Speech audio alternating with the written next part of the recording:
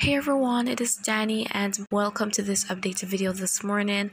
I hope you're doing really great and so we're going to be taking a look at what is going on out there. So that new disturbance is now given a high chance to develop and it looks as though it is going to be taking aim at Florida. So we'll be looking at the conditions out ahead of it in terms of intensification and we're also going to be looking at the other systems out there. We've got Tropical Storm Franklin which is expected to strengthen into a hurricane and we have the remnants of Gert, likely bringing rainfall to some areas such as Barbados and uh, two more disturbances out there. And before I go into details, please do subscribe if you haven't yet done so and tap the bell so that you never miss an important video. So let us go ahead and return to the satellite imagery and uh, there we have our different areas that I want to focus on. So we have that Caribbean system yet to be designated as an invest but it should become invest 93L. We've got Franklin up there still asymmetrical as uh, the western side of the system is not producing much activity but eventually it will be moving into more conducive conditions that will allow for some gradual strengthening and it will also have a better satellite appearance. We've got the remnants of Gert, uh, that low pressure area that is now bringing rainfall, maybe even thunderstorms to Barbados. And we've got the remnants of Emily losing that chance to potentially re-intensify. And uh, 92L is also out there. And so let's go on to the latest outlook map. Here we have them being marked with the exception of the remnants of Gert. So redevelopment is not expected of it, but uh, I wanted to focus on it briefly because of the activity that it is producing so it's just loitering around there. And so there we have our Caribbean system. It should gradually get itself together and conditions are very favorable right now for it to do so. We'll be going on to them very soon.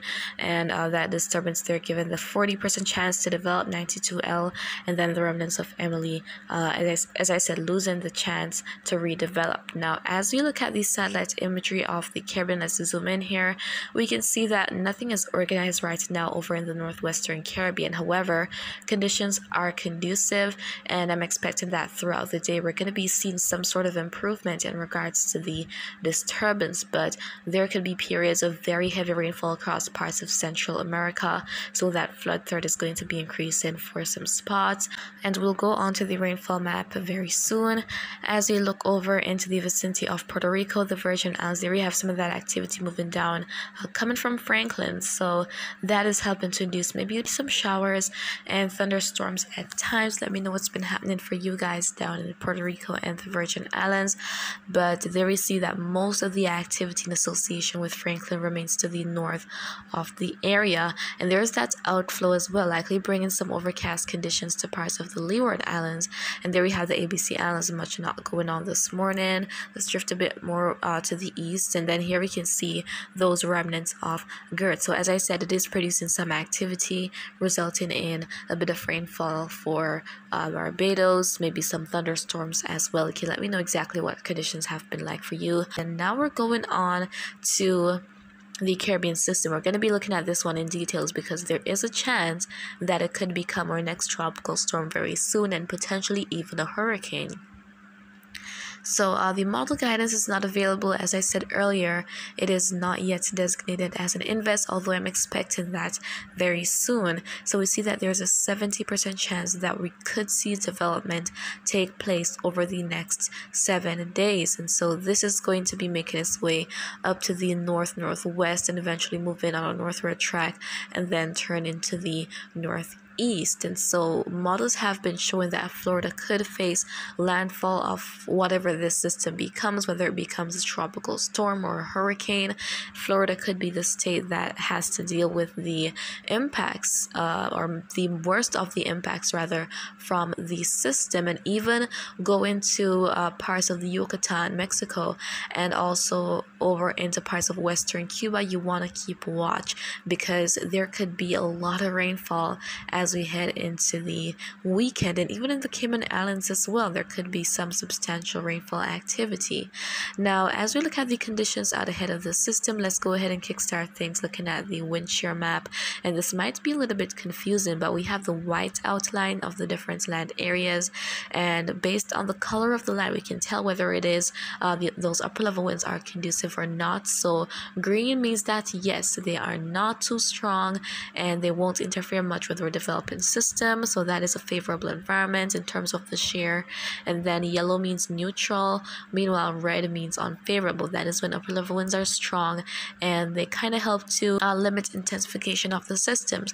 So we can see that the disturbance is in an area of generally conducive wind shear. And there we can see Franklin as well. So if we look closely, we would observe that there are a lot of those red lines in the area indicating those strong upper level winds and they're coming in from the west from the opposite direction. So that is why we see uh, basically all of the activity in association with franklin to the east of its center because those uh, strong upper level winds are just uh, helping to displace the activity. But uh, we're going to be looking at the cone forecast for Franklin very shortly. As we head to the sea surface temperatures, oh my gosh, it's so hot right now across many areas, parts of the Northern Caribbean, and especially the Gulf of Mexico 30, 31, even some spots having 32 degrees Celsius in the Gulf. And then in terms of the dry air, we don't see much dry air in the area area. So it is in a very conducive environment to start getting itself together.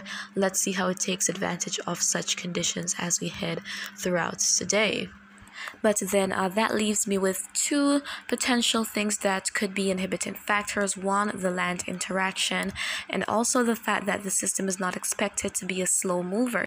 But uh, the system is expected to remain mostly over water, uh, make its way through the Yucatan Channel into the eastern Gulf of Mexico. And then uh, if it is a fast moving system, it won't really have that time to really settle down and get those thunderstorms rotating and intensifying.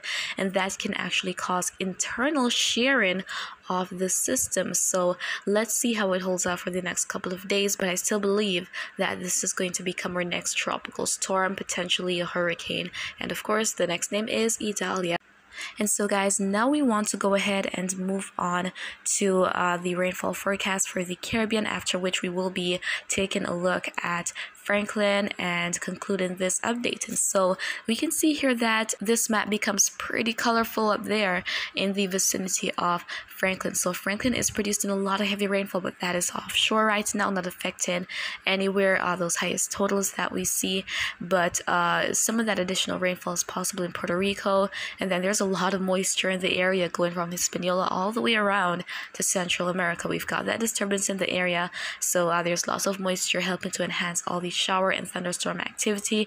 As such, all the different islands, Jamaica, Cuba, the Cayman Islands, and even going to Central America, the mainland territories, Mexico, Belize, the Bay Islands, and uh, Ambergris Caye could experience some heavy rainfall as well, going to Guatemala, El Salvador, Honduras, Nicaragua, even sections of Costa Rica and Panama, and then down in northern South America, that daytime heating could help to enhance some thunderstorms across parts of Colombia and Venezuela. Things should be pretty much drier in the Guianas. As we head head to Barbados, as we saw earlier, there's some of that activity in association with that low pressure area. So uh, the possibilities there for some more rainfall as we head through today, but for the rest of the islands, much is not anticipated.